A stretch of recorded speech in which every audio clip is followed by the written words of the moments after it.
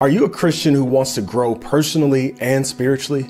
Are there books recommended to you that may be listed as self help or self improvement? I want to share with you four ways that self improvement can ruin your soul.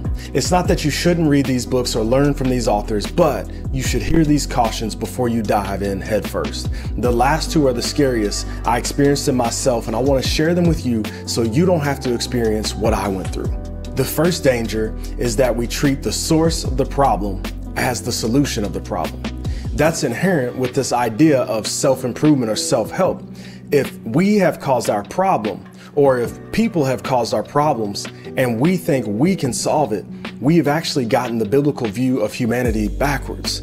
The Bible says there is no one who does good, there's no one who seeks after God. So if that is the case, if we are sinful, then we can't look to ourselves or other humans to be the ultimate solution to our problems. We've got to look beyond ourselves. And if we want true heart change, that can only come through the Holy Spirit. That can't come through another person or their ideas.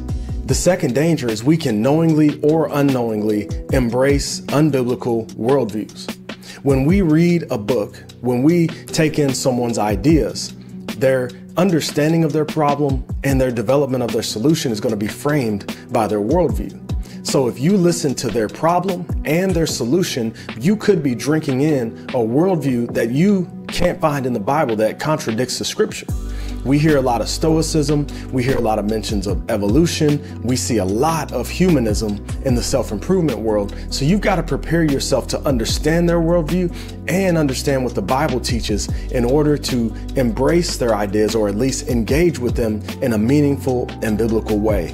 And then you can learn from their protocols and their strategies, take what's biblical and use that. Whatever's unbiblical, you have to throw it away. And some resources you just won't be able to use at all because it's completely framed in an unbiblical worldview.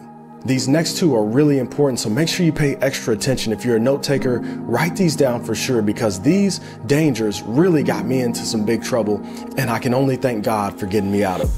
The third danger is we can run to self help gurus and self improvement gurus before we run to God. Think about how scary and how dangerous that is.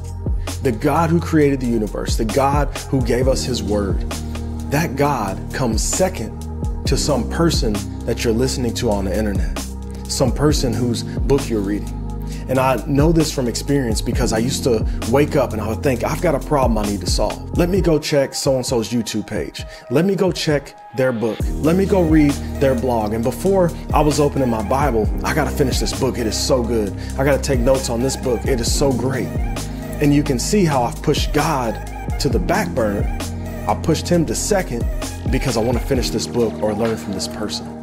And again, I don't want you coming to this channel before you've prayed, before you've read your Bible. Or if you're going to come here, it should lead you directly to God and not to me and my brilliant ideas because I don't have a lot of brilliant ideas. Now, this last point, this is the biggest danger, and this is the one that I want you to really take heed to and really pay attention to. The final danger is that we can enjoy and put our trust in self help gurus and self help resources more than God and more than His Word. Even saying it should just shock you. Imagine waking up every day and the Bible's boring and this self help guru's book is more entertaining. Imagine that reading and praying and being with other believers and listening to sermons becomes more boring than watching a YouTube video from your favorite self help guru. Imagine getting to the point where worship service is boring because it doesn't offer enough to you, because some guru has given you quote unquote better practices that make you feel better than what God's word and God's church have offered you. It's a terrifying feeling to realize that I have enjoyed someone's podcast on Monday morning or someone's book launch on Thursday more than the Word of God. So we've got to be careful. This is so serious. And I say all this, I share all this because I've seen it and I felt it, and God brought me out by His grace. The gospel is there. If you've been here where I'm at, the gospel can pull you out. Jesus will bring you in. So remember that. Go back to Christ. Stay focused on Christ.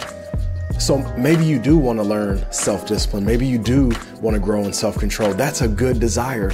Ephesians 5:16 it tells us to make the best use of the time, to redeem the time.